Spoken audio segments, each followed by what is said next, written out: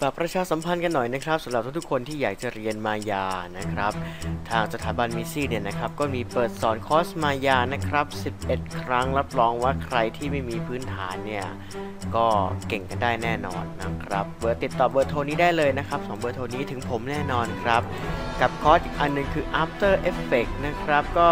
คิดว่ามีประโยชน์สำหรับผู้ที่ต้องการทำอะไรที่เกี่ยวกับพวกด้านวิดีโอด้านภาพนะครับ และเป็นไปได้นะครับลง2คอร์สนี้ก็จะดีมากเพราะว่าจะทำงานแอนิเมชันได้อย่างแน่นอน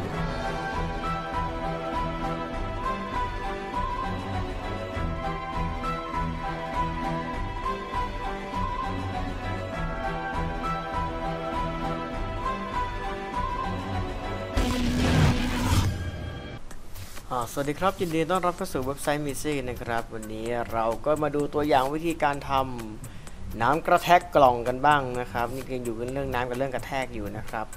แล้วหลายคนอาจจะสงสัยเอ๊ะมันทำได้ยังไงนะครับ หรืออยากทำให้มีการกระเซ็นกระเด็นกระดอนของน้ำกับวัตถุที่เป็นอ็อบเจกต์อะไรบางอย่างเนี่ยนะครับคลิปนี้คงเป็นตัวอย่างที่ดีนะครับ ในการเอาไปศึกษากันต่อ ก็จากตัวอย่างนะครับเราก็ดูนะครับมุมไหนก็เท่นะครับแต่น้ำนี่น้ำเป็นน้ำหยาบๆนะครับ เพราะว่าทำแรงๆไม่ทำแบบดีมากๆไม่ไหวหนักเกินไป ก็เรามาดูวิธีการทำกันเลยดีกว่าครับ ผมจะเซฟแล้วก็เดี๋ยวจะ new ใหม่ไม่ new ใหม่ก็ได้ เราลบทิ้งให้หมดเลยนะครับ นี่ลบกันอย่างนี้เลยเห็นเห็นกันเลยอันดับแรกนะครับ ก็สร้างแผ่นขึ้นมา 1 แผ่นครับ เพื่อเพื่อเป็นพื้นนั่นเองครับ ก็แผ่นใหญ่ๆนิดนึงนะครับ แล้วก็กด modify นะครับ fish transformation edit delete ไปทาง history นะครับต่อมาสร้างกล่องสี่เหลี่ยมขึ้นมาครับ ผมไม่ต้องใหญ่มาก หรือจะเปลี่ยนเป็นหลาย ๆ รูปแบบก็ได้นะครับอ่านี่ก็วิธีการวางให้ชิดพื้นนะครับ ก็คือกดตัว X นั่นเองนะครับ เมื่อกี้ snap พื้นทุกคนรู้ใช่ไหมครับ กดตัว C นะครับเอ้ยกดตัว D ค้างไว้นะครับ แล้วดึงแกนที่ไม่มีเป็นสีฟ้าๆที่ไม่มีหัวลูกศรที่มีหัวลูกศรขึ้นอยู่อย่างนี้คือดึงวัตถุนะครับ กดตัว D คือดึงย้ายจุด pivot นั่นเองนะครับ กด D ค้างนะครับ แล้วกด C ค้าง คลิกเมาส์กลางตรงนี้นะครับ รงเมาส์กลางแล้วคลิกแล้วเลื่อนเมาส์มาทางขวาฟึชหรือซ้ายก็ได้นะครับอ่าเพนยินก็ snap กับด้านล่างแล้วจากนั้นแล้วก็จะทำการ snap พื้นก็คือแค่กดที่ตัว W นะครับเลื่อนลูกศรแกนนี้กด X แล้วก็ snap พื้นไป แต่คราวนี้นะครับกด feed ก่อน feed ก่อนอ่า feed แล้วก็ edit delete ไปทาง history ไปก่อนนะครับเราจะต้องให้มันสูงกว่าพื้นนิดนึงนะครับนิดนึงก็คือ translate ไว้นั่นเองเป็นจุดศูนย์หนึ่ง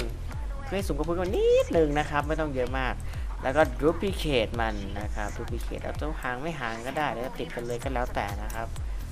เอาสักสี่แถวแล้วกัน แล้วก็ duplicate สีตัวนี้นะครับ shift D ดึงออกมานะครับ shift D ดึงออกมาดึงออกมาอย่างนี้ประมาณนี้ แล้วก็เรื่องความสูงขึ้นไปด้านบนเอาดีไหมเอาก็ได้ชิปดีดึงขึ้นไปคราวนี้ง่ายแล้วครับ เพราะว่าจุด pivot เราติดอยู่ด้านล่างใช่ไหมครับ แค่กด C ครั้งแล้วก็ snap ขึ้นไป คราวนี้เนี่ยนะครับ snap ขึ้นมากด freeze ก่อน freeze เพื่ออะไรครับ คือมันจะแนบสนิทกันเลยเป๊ะๆเนี่ยเป็นไปไม่ได้นะครับ ต้องปรับแกน y ให้สูงขึ้นนิดนึง เป็นจุดศูนย์หนึ่งคือให้มันห่างกันนิดเดียว นิดเดียวจริง ๆ นะครับล้วลาครอบทั้งหมดเลยนะครับ freeze edit delete ไปทาง history นี่คือการเคลียร์วัตถุให้ให้พร้อมนะครับ ต่อจากนั้นนะครับก็มาที่หมวด N Dynamic ตรงนี้นะครับ เลือก N Particle สำหรับใครที่ไม่มีพื้นฐานนะครับในการทำน้ำก็ไปดูคลิปน้ำกระแทกผ้ากันอีกเช่นเคยนะครับจนน้ำไหลบนผ้าอะไรก็แล้วแต่แล้วก็คือกด Create นะครับ มาที่ Create Emitter นะครับ กด Option ของมัน ปรับตรงนี้ก่อน โอ้โห2,000เยอะไปเหลือพันเดียวก็พอ Enter นะครับปุ๊บปุ๊บปุ๊บปุ๊บความแรงนะครับ ปรับเหลือแค่ 10 ก็พอ 20 มันมากไป แล้วกด Create ครับ ดึงออกมาครับ ดึงออกมาครับ ลูกศรชี้ลูกศรนิ้วชี้ไปทางไหนนะครับ คือน้ำพ่นทางนั้นนะครับ ถ้ายิ่งขยายใหญ่อิมิเตอร์ก็จะใหญ่ตามคือพื้นที่ในการพ่นน้ำก็จะมีมากขึ้นนะครับแล้วก็วางอยู่ตรงกลางๆหน่อยแล้วกันอะอันนี้ตัวนี้ไม่จำเป็นต้องฟรีซนะครับแค่นี้ก็พอวางใกล้ๆนี่แหละเราทำไงดี กดลงเรือกดลงเรือให้น้ำกระแทกพื้นแล้วกระแทกกล่องนะครับ แค่นี้เองนะครับ ปรับทำลายข้างล่างก็เท่าเดิมก็ได้ทำไว้ 122 เฟรมนะครับ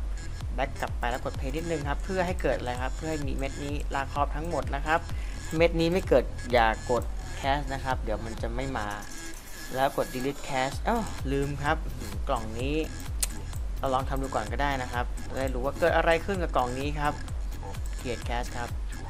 auto rename ครับอ้าวเฮ้ยเกิดอะไรขึ้นนะ วิธีการต่อมานะครับ คือแผ่นนี้มันเป็นแผ่นที่สามารถตกกระทบได้นะครับ ก็เลือกมาที่ End Mesh นะครับ Create Passive Collider ก็คือวัตถุที่สามารถกระแทกกันได้นะครับ กระแทกกับพวก End Particle พวกนี้นะครับได้อลองดูใหม่นะครับ Create Cache นะครับก็ replace ไปแล้วกันอะทะลุอยู่นะครับทะลุอยู่แม่ลืมอีกแล้ว ต้องลากครอบด้วยนะครับไม่งั้นแคชไม่ทำงาน มาที่หมวด encode ดีกว่าครับ แล้วก็ delete cache เก่าไปและ cache ใหม่ครับนี่อ้าวแล้วทำไมทะลุกล่องล่ะครับทะลุไปนู่นแล้วครับอ๋อกล่องนี้นะครับจะกระแทกได้อย่างไรในเมื่อเรายังไม่ใส่คำสั่งอะไรกับตัวมันเลย ผมก็ new layer ขึ้นมาหนึ่งอันนะครับ ก็คงรู้นะครับ new layer ยังไง ไม่รู้ว่าลองไปหาดูนะครับ ในเว็บมิซี่ของเรามีสอนเยอะแยะไปหมดนะครับ คราวนี้เราก็ select แต่กล่องอย่างเดียวเลยนะครับ กล่องพวกนี้กล่องพวกนี้เอาแต่กล่องเดือลากเอาให้ดูแต่กล่องนะครับ กล่องอย่างเดียว เสร็จแล้วนะครับ เราก็สร้างเป็นผ้าโอ้สร้างเป็นผ้านะครับ สร้างเป็นผ้าเสร็จปุ๊บเลื่อนลงมาครับ มันจะมีไอตัว encode นู่นนี่นั่นเยอะแยะหมดนะครับ ให้กดชิปลากครอบทุกตัวเลยทั้ง 32 ตัวนี้นะครับ 32 ตัวนี้ แล้วทำอะไรกับมันครับ เลื่อนลงมาครับ นี่หาคำว่า rigidity ครับปรับเป็น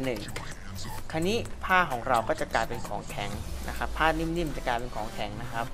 เราก็เออเลื่อนนิดนึงนะครับให้ลากครอบทั้งหมดอีกครั้งหนึ่ง delete cache ไปก่อน แล้วก็ create นะครับ cache ขึ้นมาใหม่คราวนี้แหละครับหนังสงครามเลยครับนานสุดๆนะครับเพราะมันต้องมีการ cache ตัวกล่องให้แนบติดกันด้วย นะครับเราอาจจะ cache ตัวน้ำที่กระแทกอีก